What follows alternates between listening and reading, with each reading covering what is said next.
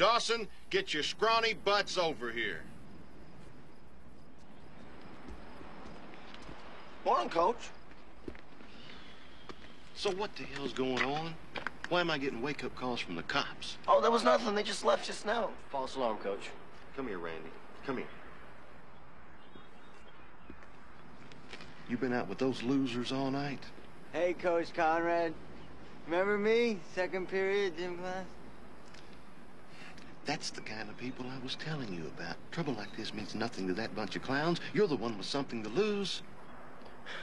Now, coach, you don't even know them. Randy. How can you even pretend to talk that way, huh? Okay, Randy.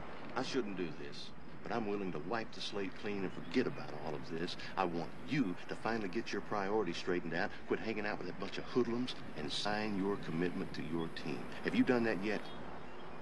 I'm still thinking about it. No one's paying you to think about it. Just do it, son. You know, coach,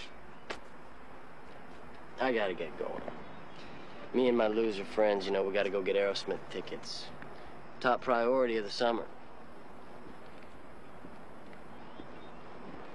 Oh, coach, uh, I forgot. I might play ball. But I will never sign that.